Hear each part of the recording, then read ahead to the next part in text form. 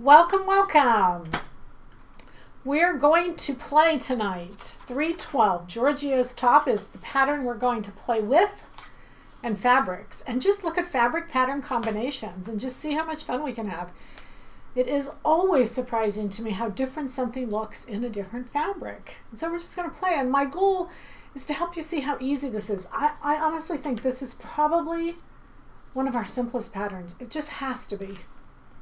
There's no darts. They're built in. A princess seam. You don't have to raise or lower it. I can't mess up that bad, so no worries on that. It's a kimono sleeve.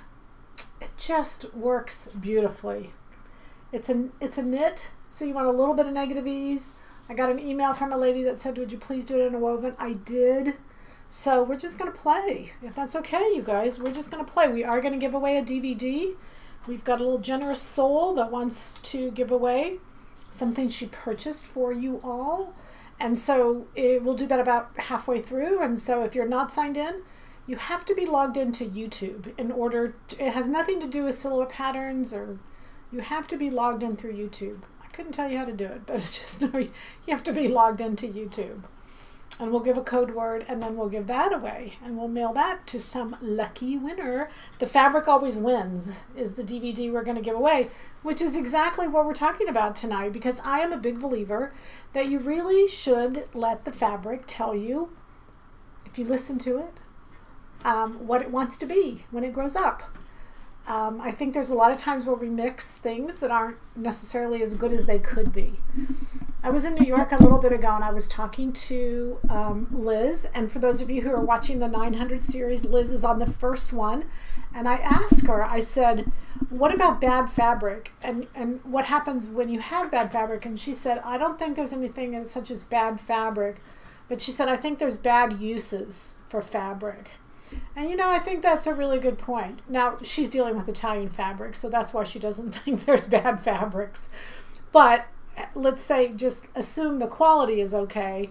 I think there is a lot of mis, um, you know, the, the non gelling of the fabric and the pattern together. So we're going to learn a little bit tonight, hopefully, answer your questions that you have, and just have some fun. And again, we're doing 312, Giorgio's top, and it is a knit. So we're going to start with some photos. And we'll go to photo number one.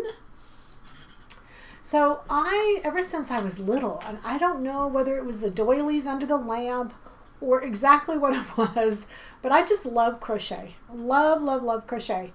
I can crochet. I don't know how to crochet like a, a sweater like that. I keep saying to myself one day when I grow up. Um, but I, I could, I can do a neck piece. So I found these neck pieces. I bought a whole bunch, so I'm sharing them with you. And Giorgio's top is perfect to put on a neck piece because neck pieces have um, neck shapes. They always follow the French curve if you lay the French curve down on them. And then all you have to do is change the pattern to equal the neckline. And that's exactly what I did. So let's just talk about this one for a minute. Um, this is a new fabric. We just put it up. It's 42 um, let me make sure I'm on the right fabric. Let me get my glasses. So the fabric itself is 43.68. And then the little neck piece is 43.69. They're both new. They just went up today. And I just love white. I love white and I love it with a bright color. So I put it with these orange pants I had made before. That was 42.38. This little George's wrap you know, I just wore it over the shoulder.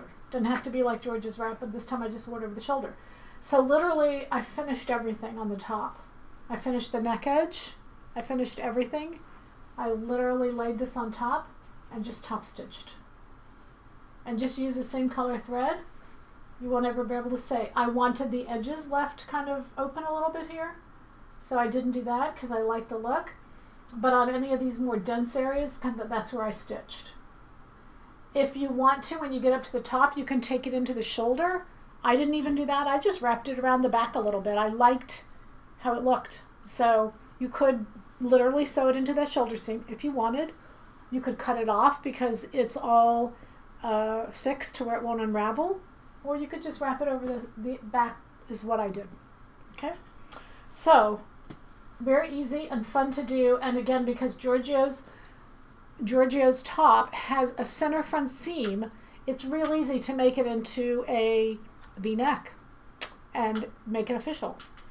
If the princess seams don't go over the apex of the bust, as in they fall closer to the armscye, how do you fix that? Um, please don't fix that. That was purposeful. you don't want your princess seams to go over the apex. There's actually a rule against that in pattern making. Um, the, the apex of the bust is to align the body to the pattern, but seams and darts should not go to the apex. They should stop around. Princess seam should go through the bust circle, not through the apex. So please don't fix that. Leave it like it is and promise you'll look better, okay? All right, but thanks for asking. Looks like the princess seam comes from the shoulder tip. No, it just comes out from the side. It comes out, it's a side panel. But because there's no set-in sleeve, I've got some, uh, you know, I had some variance as to where I had to put it. I didn't have to put it, you know, right at the top of the shoulder. So I kind of played with it a little bit. Now, this original was a Giorgio Armani, and I tried it on and I loved it. So I kind of duplicated the look and the styling of what he had done. And so it does come out a little bit, but no worries. No worries. I mean, you can always take off and add and move that seam by simply redistributing it, but don't think it's supposed to be a certain way. If you just want it that way because you want it that way, that's a good enough reason, but it's not supposed to be that way. Okay? Okay. So this is the second one I wanted to do, and this is, um, I was watching 2020, obviously, this is Elizabeth Vargas, and um, she wore this during an interview. She was actually being interviewed, and I just really liked it. And I, the minute I saw it, I thought that's Giorgio's top. so I mean, you know, not quite, but the flare and the asymmetric at the bottom. I figured, okay, this is one we got to do. So we did, and so I'm going to show you this. Is and you know, whenever they're whenever they're not on, they don't look you know, they this is more form fitting than what it looks on this mannequin because this mannequin's smaller than I am. Um, the one in the photo to me looks too tight. I mean, you know, you've got horizontal pulls going all over the place. Not criticizing, just saying you don't need to go that tight. So you can see this one's got a little bit of ease in it, but I really want to look at this panel. I want to have a little close up of this panel. It's absolutely beautiful. Let me tell you this fabric number. It's 4330. Now what I did is I cut this whole thing six inches longer. I cut the whole thing six inches longer. And then what I did is I just cut it um, four inches shorter from one side to another and just made an angle. I mean, this is just beautiful. And, and I'm going to show you front and back because it literally is a panel. And I think the thing that is most fun to me about this is, of course, it changes by the colors that you put under it. So I purposely put a white under it so you could really see the beauty of that panel. But it's just stunning. It's absolutely pretty. This is a knit.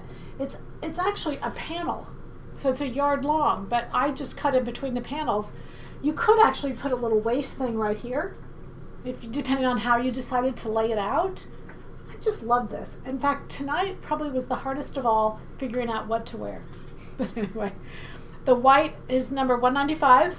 I just did a little sweater set. And when you're doing, it's nice to think about doing it under because like for instance with this, I did a sleeve because I wanted it to show off the color. I did it longer because I wanted it to go to the bottom. So sometimes I will make a shirt, especially for a garment, if it's like see-through, so that it looks the best it possibly can. And the fabric I used was at 4371. It's new. So the sweater set, I just lowered the neckline a little bit to match Giorgio, and then I went from there. It looks great, yes? On this, I wanted to talk about hemming on this because I did not hem the sleeves and I did not hem the bottom. And it just looks incredible, um, just left alone. Just left alone, completely left alone. I hemmed the neck edge, but I did that for stability. But if you want to you want to come in on that, Mr. Brett? I'm going to come in right over here on this so you can see that raw edge. And at the bottom, you can see the raw edge. And again, sometimes at the neckline, I don't really care for a raw edge. It's all your taste, whatever you decide you want. Um, you could do a rolled hem if you wanted, but it just hangs so nicely. Usually at the bottom of a garment, we put a hem there so that it has weight. This doesn't need it. It drapes beautifully. It's dense. It's really pretty and it's a, it's a beautiful knit. Okay, so we got two ideas, two completely different. One we're going to add a little overlay to it. The other one we're just going to cut it off and make that asymmetric bottom because asymmetry is so popular right now that I really wanted to kind of take advantage of that. Okay, so let's go to the next one. And you know what? I am a real victim of color blocking. Even though color blocking is comes and goes and comes and goes, you know, this one's at Neiman's and it's not inexpensive. And I loved color blocking. So I decided Giorgio's top could be color blocked really nicely. And I started playing with why I like this.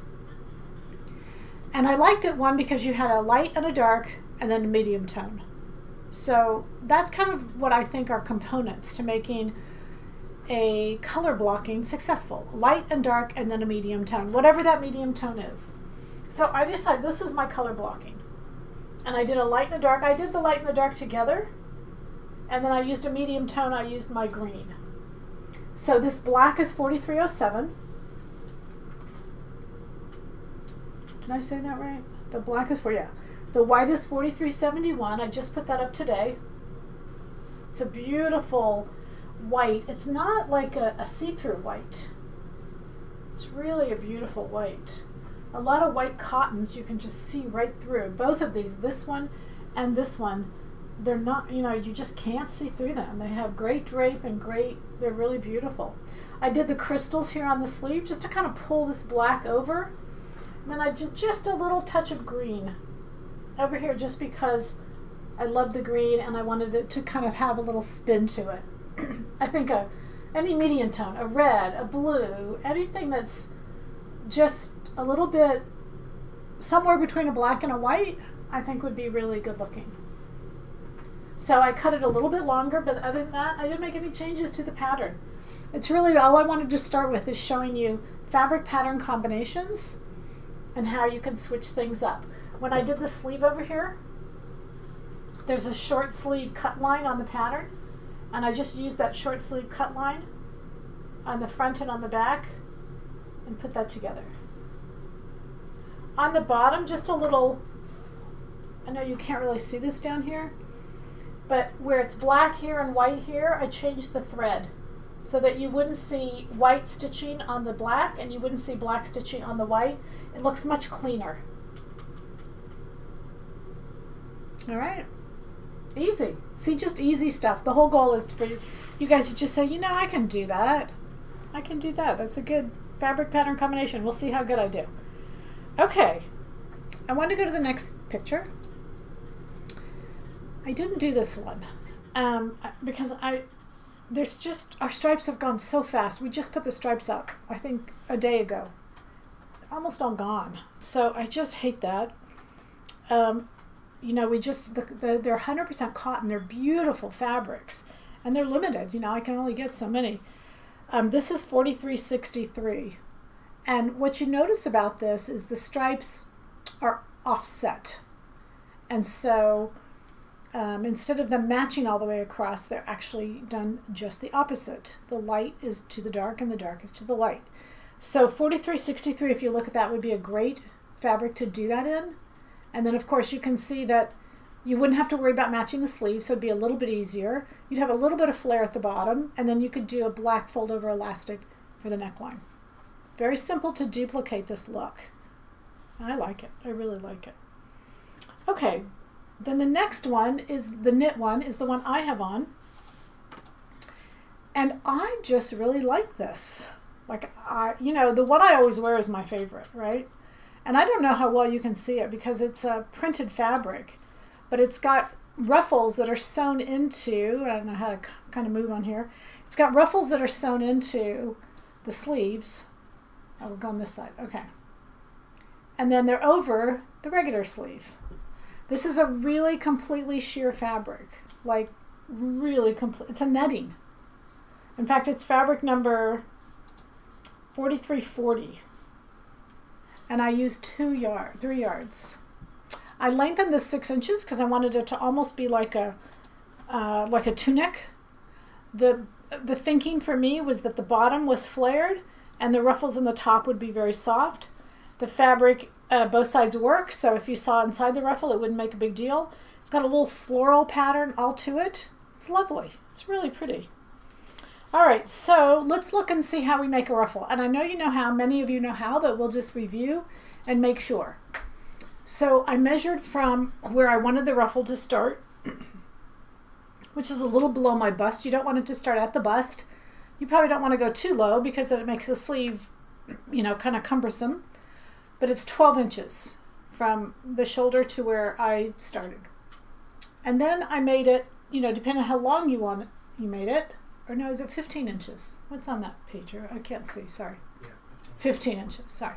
I'm 15 inches down. And then I went 10 inches out. That's how wide. You could make it narrower, you could make it wider if you wanted. So that's the rectangle that you draw to start with. It's the width versus the length. And remember that that part goes on the fold because you want it to go front to back. Easy enough? Then you want that ruffle to be one to one and a half. And you spread and you open one to one and a half. That's it. You cut the top part on the fold so you have two of them. You could put a seam at the top, you know, to save fabric if, if you needed it. But either way, just makes it fun. Just makes it fun. I love this. I, I know you may not be able to see it as well as I like it. And then I've just got like a little black shell underneath it. And I love it. It's so cute. I'm working on the fit of this pattern. Question. Don't want to take the flare away. So how do I shorten this top? I'm short. um, so did you make it? I'm going to assume the answer is yes and then I'm going to assume because you want to shorten it that you made it and you it's too long. So just right at the waistline, just shorten it right through the waistline, right through here. You won't take away any of the flare at the bottom and just figure out how much shorter you want it and just take a horizontal tuck all the way through the waist area. That'll do it. Easy peasy. Okay. All right. Okay. All right. So here we have a very common look that is so positive. We all want to know about it. I've joked about it that this is the easiest diet in the world. It's called black side panels. And so whenever you put black side panels in a top, you're only a third of your body. So it has to be the greatest thing ever, right? So what I did is I did black side panels. But what I did do is this is kind of bordering, sorry, this is kind of bordering on, we're going to start into the woven department. Because, think about this, I don't have to have, again, we're going to start talking woven and knit now. I do not have to have this whole garment knit. I have the sleeves knit, and I have the side panels knit. Why couldn't I sneak in, depending on how tight it is on my body, but I could go to a larger size. Why couldn't I sneak in and do the middle panel on in a woven. And that's exactly what I did. I did a middle panel on the woven.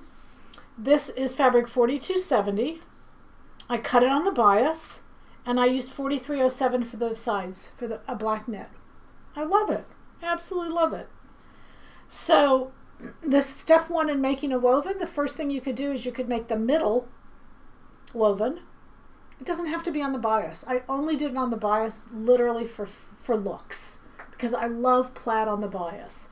But by all means, as long as that one panel and the front, I did it the front and back both, and then the sides are knits, the sides are knit, you have plenty of room to get it off and on. I did lower the neckline just a little bit to make sure I had enough to get it over my head. You want to make sure, because you've got woven front and back, so make sure you can get it over your head. But it's just really, really fun and really, really easy. Okay? All right, looks like you have a high neck. Is there an opening? Looks like I have a high neck or my garment has a high neck. Doesn't matter. We'll assume it's the garment. Is there an opening in the back of the one you have on? No, but it's knit. It's knit. It's plenty big to get it over my head. Okay?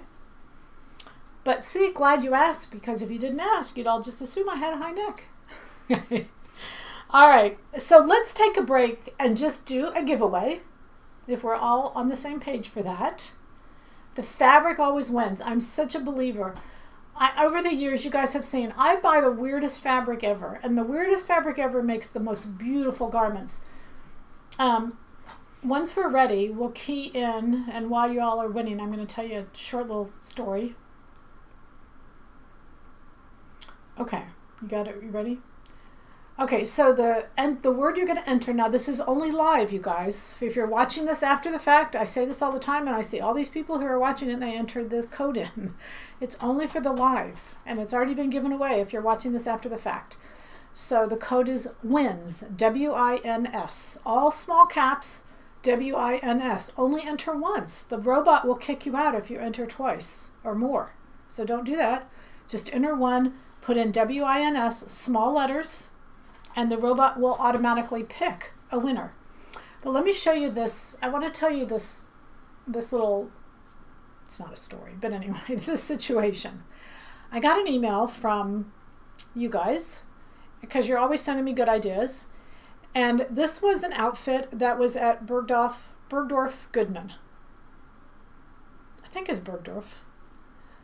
Okay, and it's Jason Wu and it has this it was a beautiful talk about great fabric pattern combination.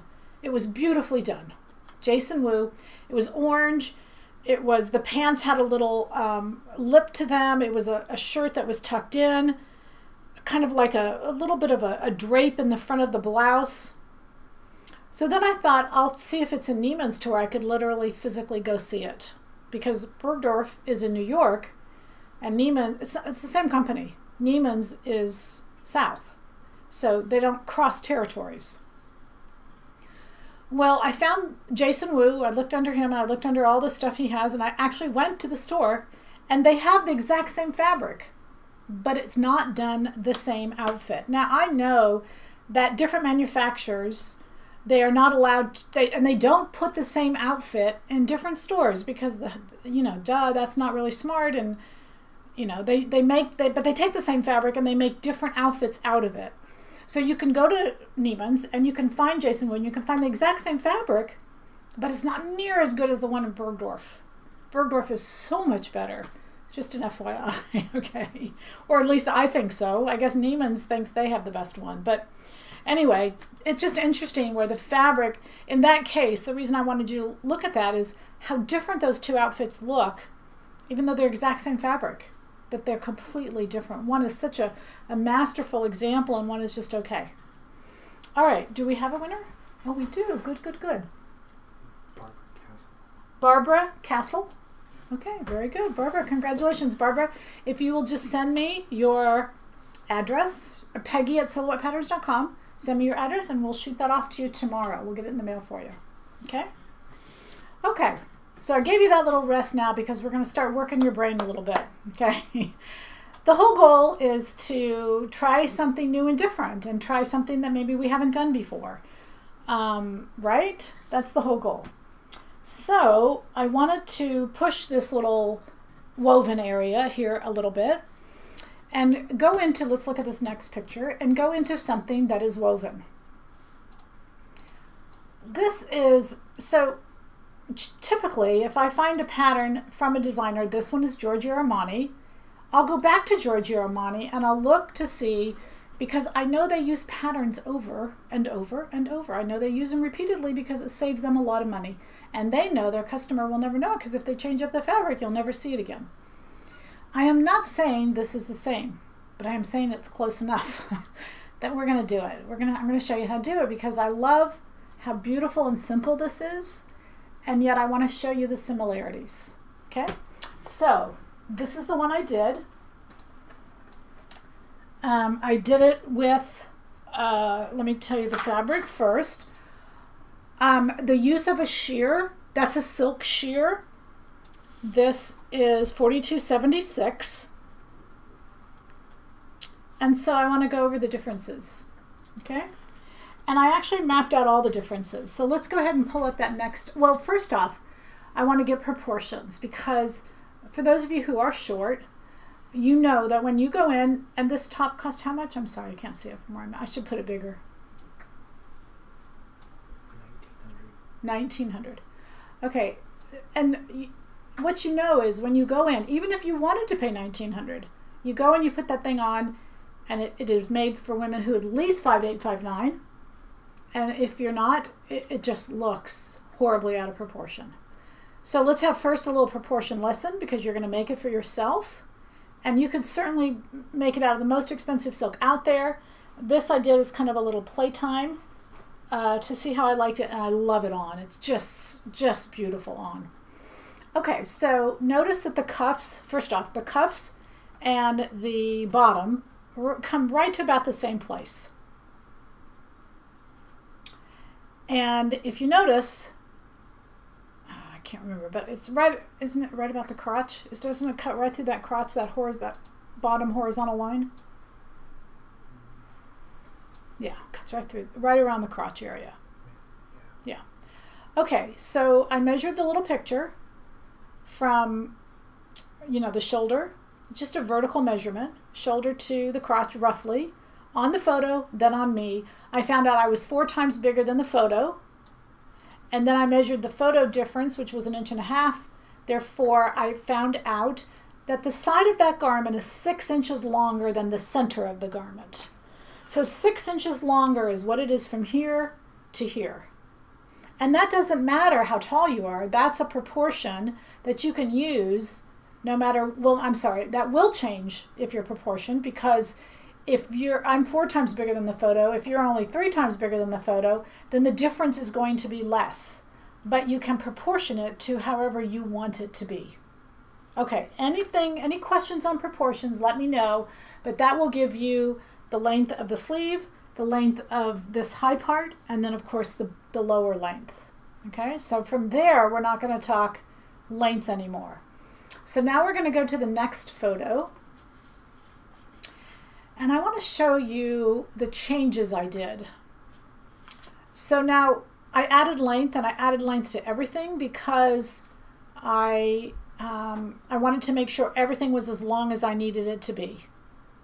And so the, the added length represents the longest point on the sides because it's really easy to cut it off. And I'm going to show you that what I did for me is I made it all the correct length and then I cut it off. Anyway, I don't think you really need to see the part I cut off. I guess that's not a big deal. But I do want you to see that the center front and the center back were cut on the fold, and I drew a straight line from the center front to the peplum, and from the center back to the peplum, to the bottom. That now got put on a fold. There is a seam, uh, center front seam on the front and the back. I nixed that. I opened the neckline up a little bit. That's all styling. Doesn't really matter how you do it, but remember it's a woven. And the things you're worried about with a woven, when you go from a knit to a woven, there's two things you should be worried about. Number one is how am I going to get it off and on? And how am I going to move? Those are my two big concerns. So if I open up the neck, I don't have to worry about how I get it off and on. If you measure the biggest part of your head, whatever number that is, you want to make sure that the neckline equals that. So I widened it an inch and lowered it an inch all the way around. And an inch is a lot, so be careful. Go slow. And you don't have to go that much bigger than your number. You just need to make it bigger than what it is. Okay? Okay, then I want you to look at the green lines. That takes care of the red lines. Remember that this sleeve is a knit sleeve because it's a knit pattern. Okay, so that knit, I'm going to use my numbers and then you guys can, you know, relate to it with your numbers. So my knit sleeve is 10 inches and I'm talking about at my bicep. My blouse sleeve, excuse me, my blouse sleeve is 13 inches. So that 13 inches tells me that if I make this 13 inches, I'll be able to move just like a blouse. So I have three inches of difference. And if you notice, I have four seams. I have this top seam, front and back, and I have the underarm seam, front and back. So I take that three inches, I divide by those four seams, and all I have to do, and you can see that green line, it goes, it pops up three quarters of an inch. Not at the neckline. You notice not here where it starts. Here it stays the same, but as it goes out to the very end, it pops up three, actually I popped up three quarters of an inch right here, right around through the bicep, and then just let the rest continue to be a little bit more because it was going to get gathered in. It didn't make a difference. But where the bicep is, that's where your mobility is important. That's where you need it to equal the blouse sleeve. And then notice the bottom, I did the same thing. I added there at the bottom. When I went to connect it, you don't want it to be as close to the body as what the knit is. So notice where I, at the very pitch of that curve, I brought it out, what does it say, two inches? That green? Yeah. Or the purple, yeah, sorry. It wasn't two inches. You know that? It's three inches. So you have to be sure you change that. It, it actually doesn't matter, but it's easier to take it up and you can't let it out. So for instance, if you put on a kimono sleeve and it's too low, you can always take it up and bring it in closer to the body. You can't take it away from the body. So I did it at three inches. And so from that purple line where it is, measure out, do three inches. And then you just connect. And where you connect it back into the body doesn't make any difference. It's all just added fullness, and you want added fullness anyway because you want it to have a little bit more flair than what your body is. So see, it's really just so fun and simple to go from this what you have to this what you have. It's very easy to do. I just have to recognize what do I have in my woven sleeve? What do I have in my knit sleeve? What's the difference? And how do I add it? And where do I add it? Use all of your seams. Don't ever put all of your difference into one place. Let everybody help, kind of thing. Many hands make light work, right? I got rid of my center front seam. I got rid of my center back seam. Um, I did a little fold over elastic at the neck just because the silk was a fold over elastic or a binding. It probably wasn't a fold over elastic, but it was a binding. So I went ahead and did a binding. And then for the cuff, you know, on the Armani, and that Armani was $2,000. If it was $2,000, I would probably use ribbing. But I have seen this at stores and I decided to do this. It's elastic. And literally the sleeve is just gathered right into the elastic. Is that cool? You want to come in on that just a little bit so we can kind of see? The two inch wide elastic, you just make the circle the size of your arm and I literally just gathered that in right into that elastic. And so what looks like a cuff is just a two inch wide elastic band, but it works perfectly like a cuff.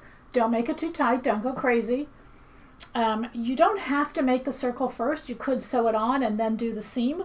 You could close it up in the seam. I made a circle and made kind of show on the outside and then I sewed it around. I think that was actually the harder way to do it. I think there was definitely an easier way to do it. But that gave the black accent here, the black accent at the neck edge, and then whatever fabric you used in between, you got this full flare from it. I did not go up a size, but I just cut a little bit extra on all of my seams, like an eighth of an inch on everything. And there's enough seams that that gave me several inches, and that's a lot. Don't go crazy on when you go up in size, you know, or when you add a little bit. Don't go too much. You won't want to go too much. It'll get too big. It'll get too sloppy. The beautiful thing about using this princess seam is even when it's on me, it's so pretty. It's so shaped that it's not just like this mass of fabric. So you can choose a beautiful silk or anything, and you can see that it just really hangs nicely. And then you just cut your arch and make it a difference. I did a rolled hem once I finished this because I just loved the way it hung and that rolled hem to me was a perfect finish. Typically, on a rolled hem on a on a knit won't do well, but on a woven it, it does beautiful.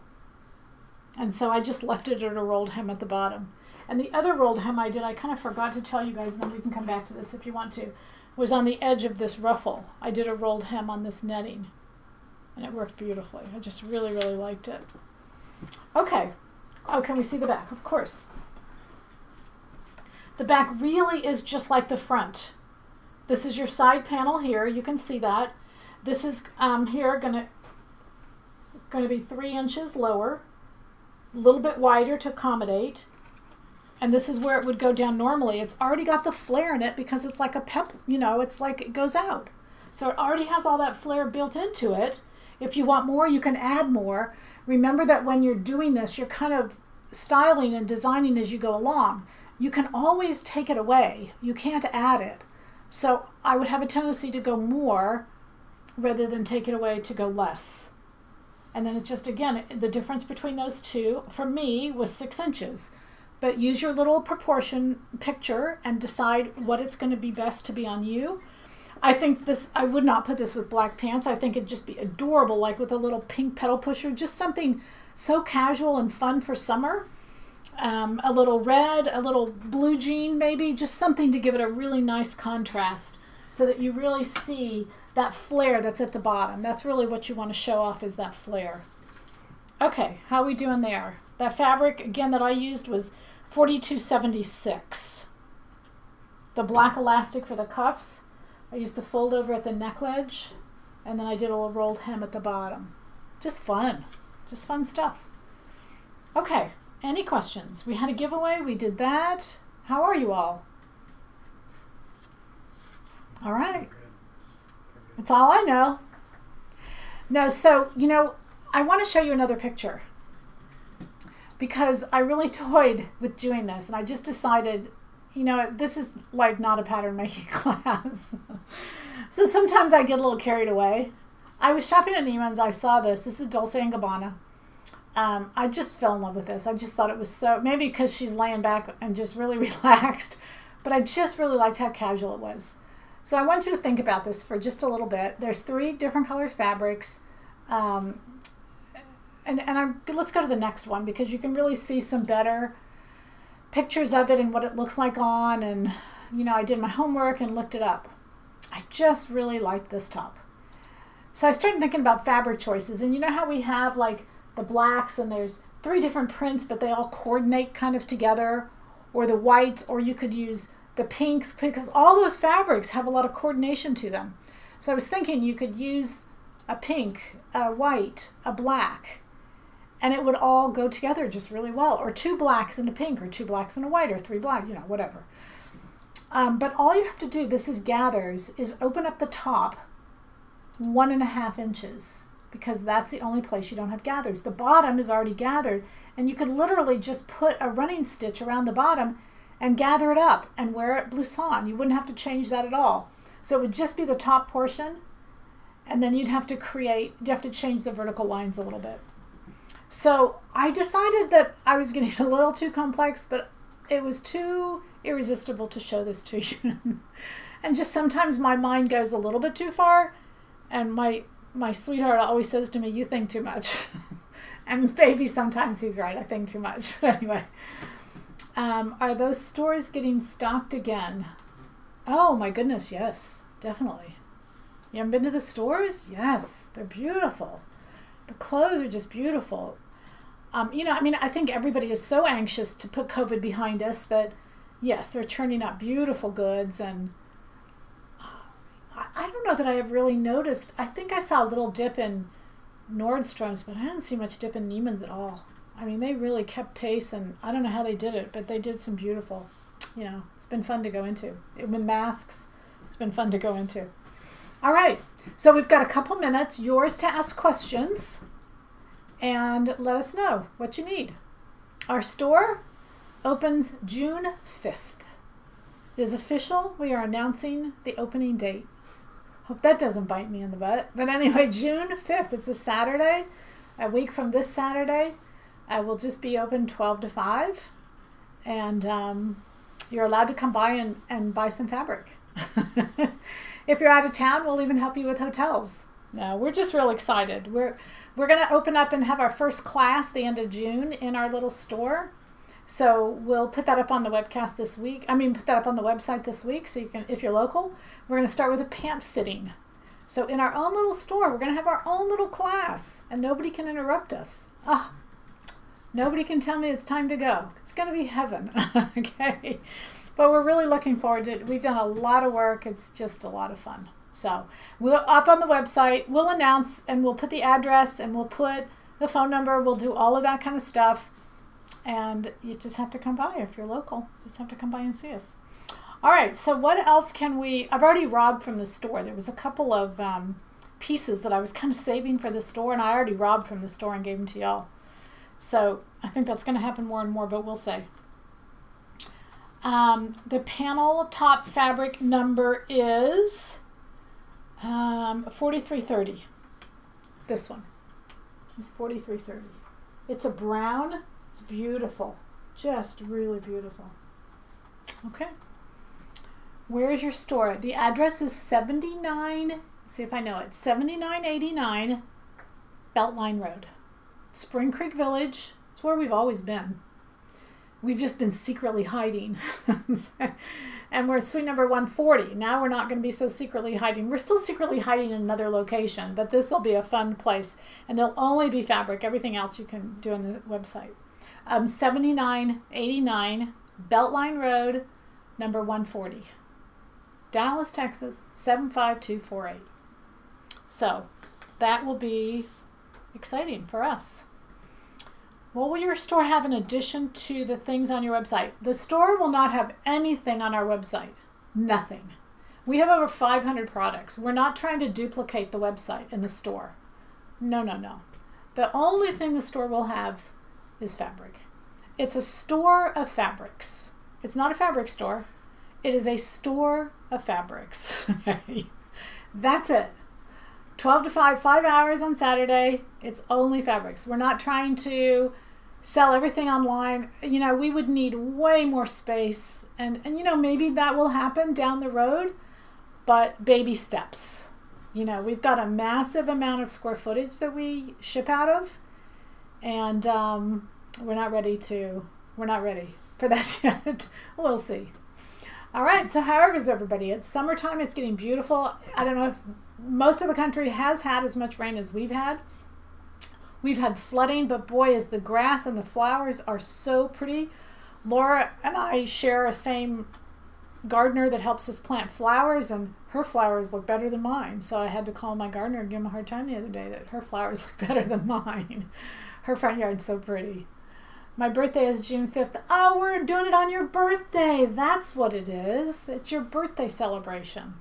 So happy you're doing the store. Best wishes for much success. Thank you. Thank you. I, I just am so excited about it that I haven't even thought of the logistics of it all, I don't think. I think I'm just having way too much fun decorating it and painting it and just doing a whole bunch of fun stuff. So I bought a, a Singer uh, table base it's a table base because I wanted a table for the bathroom, but I wanted to have something to do with the fabric store. So I looked all over them. boy, they were expensive, expensive. And I finally found one for like $50. Don't tell anybody I paid that less for it. But anyway, so we're fixing it up. It's just fun. It's just been really fun. And we've got these old sewing machines that have been given to me through the years. My sweetheart has given me the uh, sewing machine from the 1800s. Um, we've got a featherweight. We've got the sewing machine my mother gave me when um, you know, my father bought it for her when he went to the New York World's Fair. So we brought in a little collection of all these beautiful sewing machines, and we'll have those at the store. It's just going to be fun. It's just going to be fun. You know, I we're just going to be there to sell fabric and just have fun and gab and have a good time. Can we see the back of the white top with the crocheted neckline? Yes. Okay, so here we go. That's this one right here. I'm going to take this off because that probably is not what you want.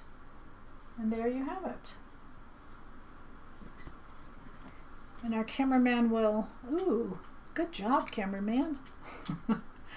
Can I use Monse black knit on this? Yes. I oh, with sold out of it? Um, I I don't I don't know. I'm sorry, I don't know. I think you're and another woven for the front instead of the plaid. Now the plaid was um, the plaid is forty two seventy. Yeah, the plaid is forty two seventy. Uh, we have quite a bit of that, so I know that's okay. And then the neck pieces are, are separately purchased. Does that help you? Okay. All right, so we have a wonderful dinner downstairs. and it was delivered a little bit late and we didn't get to eat it. So we're going to go eat. See, that's really why I was rushing, so that we could go eat the rest of our salads and sushi. Um, they want to see pics of the new store. Oh, that's sweet. We'll put them up. I should put. I should have taken some before, like before and after. But um, I have a graphic artist. He does all of our PBS TV sets he actually does. We have a very, very beautiful museum called the Ross Perot Museum here in Dallas. He does all of their uh, displays. He is an extremely talented guy. And he's just happened to be my graphic artist for 20 something years. And he is laying out the store. So he's, I haven't gotten the plans back yet. I have great faith in him. I'm really excited. He's doing the cutting table. He's just having all kinds of fun. And you know, we've talked over the phone back and forth, and I probably will have it all tomorrow, but we will take pictures. That's a great idea. We'll take pictures. We will have a page on the website. It'll say retail store along the little top buttons at the top. It'll say retail store, and you can click on that, and it'll have the address and the phone number. You can call the phone number, but nobody will answer. The only reason we're using a phone number is so we can put messages we'll be open every Saturday, 12 to 5, but you know, you never know. Something may happen, something may come up, and we have to close. So, always before you come on that Saturday, you'll want to call and we'll have a message. Yes, for sure, we'll be open, you know, this Saturday and, you know, et cetera, et cetera. So, we're going to have a good time. We're going to have fun. It's a little store, so we just have to be patient and have fun. but we will. We'll take pictures. We'll put them up, and we're gonna we're gonna broadcast from the store. We're not going to do a sew along on the 5th because that is the store the, the first day we open.